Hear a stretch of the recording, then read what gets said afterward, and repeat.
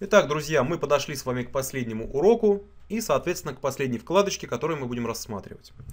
Давайте я сразу вызову панель. И последняя панель, которую мы рассмотрим, это профили.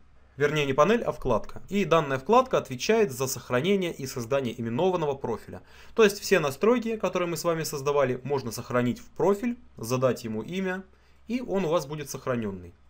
Какие здесь есть преимущества и возможности? Во-первых, сохраненный профиль можно экспортировать и, соответственно, импортировать на другие компьютеры. То есть вы экспортируете, тем самым создаете файл с расширением ARG и можете этот файл переносить на другие компьютеры. Либо где-то на работе положить его в сетевую папку, чтобы все могли им пользоваться.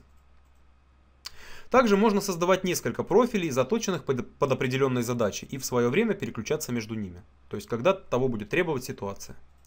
Итак, мы с вами провели кое-какие настройки, как визуальные, то есть настроили командную строку, цвет графического пространства, а, курсор, подсказки и еще кое-какие элементы.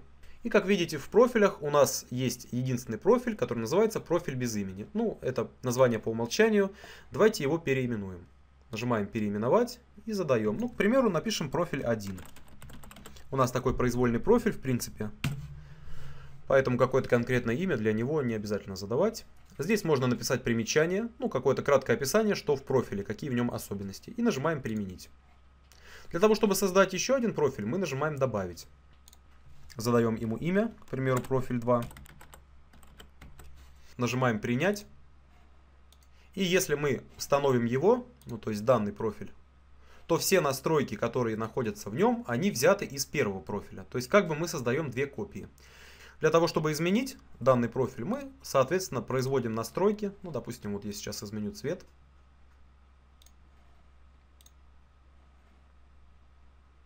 Перехожу в профили и нажимаю «Применить». Все, теперь настройки данного профиля сохранились. Нажимаем ОК. Можем даже закрыть файл, к примеру. И при запуске нового файла у меня загружается, как видите, новый профиль. Для того, чтобы изменить, вы уже поняли, мы переходим в настройки и меняем. Выставляем первый профиль и нажимаем установить. Вот таким образом мы переключаемся между профилями. Итак, двигаемся далее. Для того, чтобы а, импортировать профиль, мы должны его сначала установить. Вот, допустим, второй профиль устанавливаю и нажимаю экспорт. Обратите внимание, что имя профиля задается такое же, как имя чертежа. Зададим имя, к примеру, профиль 3. Как видим, расширение ARG, а это значит, что это профиль. Нажимаем «Сохранить», и теперь обратите внимание, у нас в папке «Мои документы» по умолчанию сохраняется профиль. Сейчас я второй профиль вот этот удалю.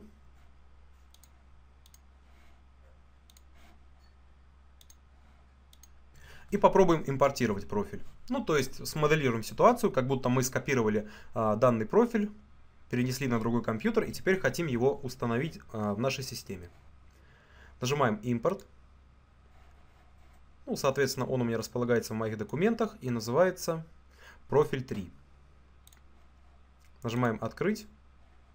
Можем сразу подредактировать имя, какие-то пометки здесь сделать и нажимаем применить. Вот он у нас появляется, и мы можем сразу его установить. Нажимаем «Установить», и, как видите, цвет фона меняется, а это значит, что настройки профиля вступили в силу. Ну и последняя возможность, которую мы рассмотрим, это сброс всех настроек. То есть мы как бы делаем reset и возвращаем настройки к заводским. То есть к настройкам по умолчанию. Так, у нас установлен профиль 3, и мы его обнулим. Нажимаем «Сброс». У нас появляется сообщение, действительно ли мы хотим продолжить. Мы нажимаем «Да». Если мы сейчас закроем данную панельку, то увидим, что все настройки у нас стали такими же, какими были изначально по умолчанию при первом запуске программы. То есть командная, командная строка стандартного цвета и со стандартным шрифтом. То же самое касается рабочего пространства, меню ленты, ну и прочих настроек. Вот таким образом работают данные настройки.